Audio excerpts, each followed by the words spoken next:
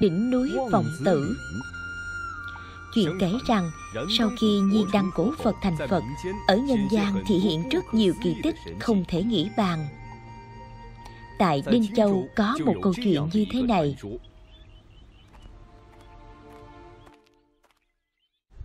Phu nhân uống chút thuốc đi ạ. à. Uống cũng uống công mà thôi. Phu nhân uống đi mà, Nói không chừng bài thuốc lần này thực sự hữu dụng thì sao? Tiên sinh nói sao vậy? Ông nói đi chứ. Quẻ bói toán đó, tiên sinh nói Nói Nói cái gì tức chết đi được mà. Nói rằng lão gia chủ định trong bạn không có con. Tôi đã nói rồi mà, Uống thuốc này cũng uống công thôi mà.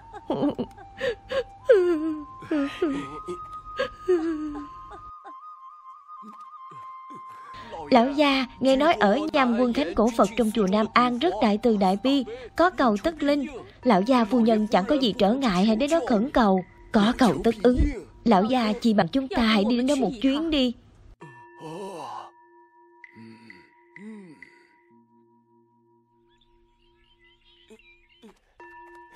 Nghỉ ngơi một chút đi thôi. Chúng ta đã đi được hai canh giờ rồi, Còn bao xa nữa vậy? 35 dặm nữa.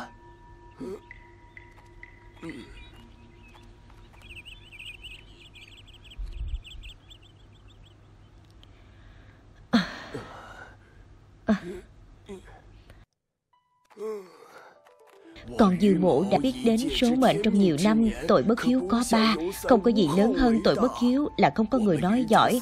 Và họ dư chúng con ba đời độc truyền, Không thể đến đời này của con bị đoạn tuyệt hương hỏa được.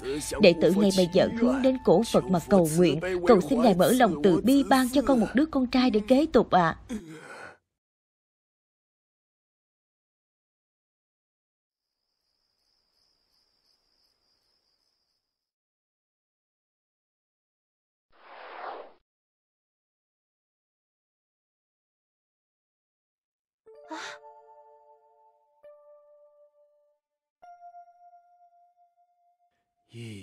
Một ngàn, một ngàn Lão gia rốt cuộc giấc mộng này là ý gì vậy ạ?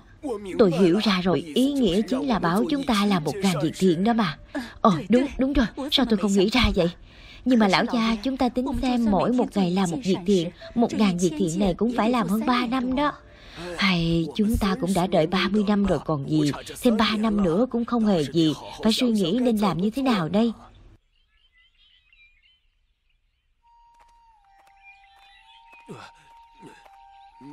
Thưa lão gia. Ừ. Thưa phu nhân. Đã đưa đi rồi à? Vâng ạ, họ vui lắm ạ.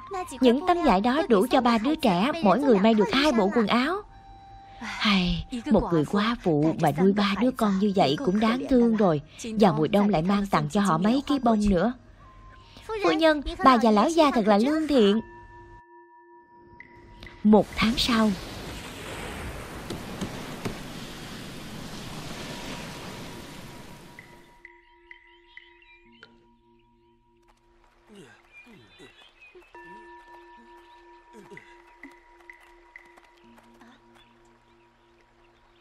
Xin đợi một chút.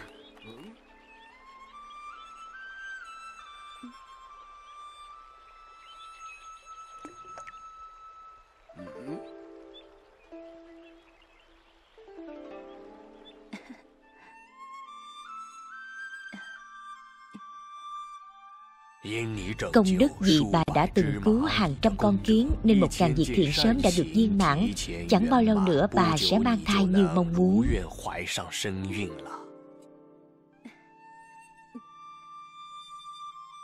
Hai năm sau Chúc mừng dư lão gia. Cùng vui cùng vui nào. Các vị uống thêm mấy ly nữa nha.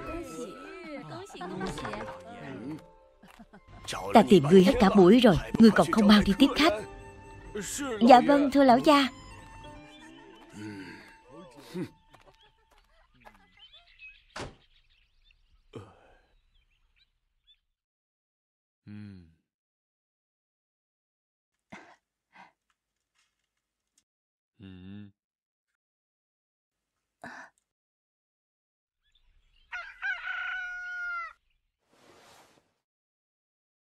Lão già bắt đầu từ bây giờ chúng ta vui mừng khi có con trai chăm sóc rồi, Còn đi cầu nguyện gì nữa chứ? Đúng rồi, phu nhân Suýt chút nữa ta quên mất. Chờ con trai thức dậy, chúng ta bồng bế con trai cùng đi đến cảm ơn cổ Phật nha.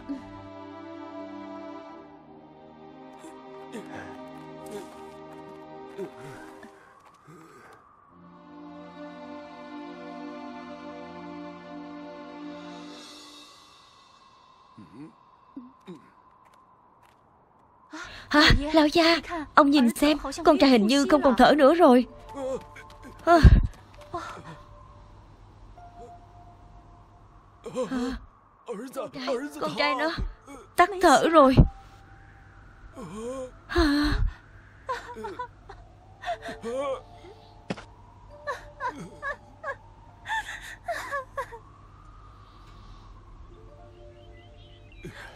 Đừng khóc nữa. Chúng ta hãy đi đến cầu xin cổ Phật đi.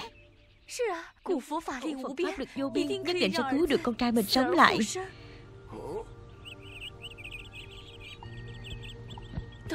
Tất cả là lỗi của con. Con không nên lấy cái chăn trùm lên kính mít như vậy Làm cho con trai con bị chết ngạt.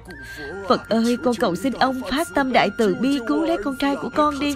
Nó mới có một tuổi thôi mà. Tất cả đều trách con. Con trai đầy năm không nên giết gà giết dê Làm vật cúng tế Bày yến tiệc đãi khách tạo tội sát sanh.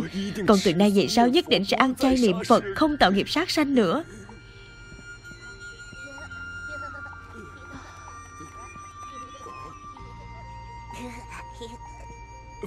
Phu nhân bà nhìn xem ở phía trước kìa. Đứa trẻ đó giống con trai mình quá. À. À, đúng rồi là con trai. Con trai mình sống lại rồi. Sau đó phu nhân nhà họ Dư đem nửa gia tài của mình bố thí cúng dường tăng chúng. Từ đó về sau ăn chay niệm Phật tích đức hành thiện. Vì câu chuyện ngắn này mà người đời sau liền lấy núi Nam An, nơi mà có hai hòn đá cao 20 dặm, đặt tên đỉnh là núi Vọng Tử. Phật giáo trong nhiều kinh điển luôn nhắc đến công đức cúng dường hương rất nhiều, như là một tội chướng tiêu trừ, hai phước báo đầy đủ, ba đời sau được sanh vào nhà tôn quý 4. Cầu gì được đấy 5. Viễn ly ác thú 6. Mau được giải thoát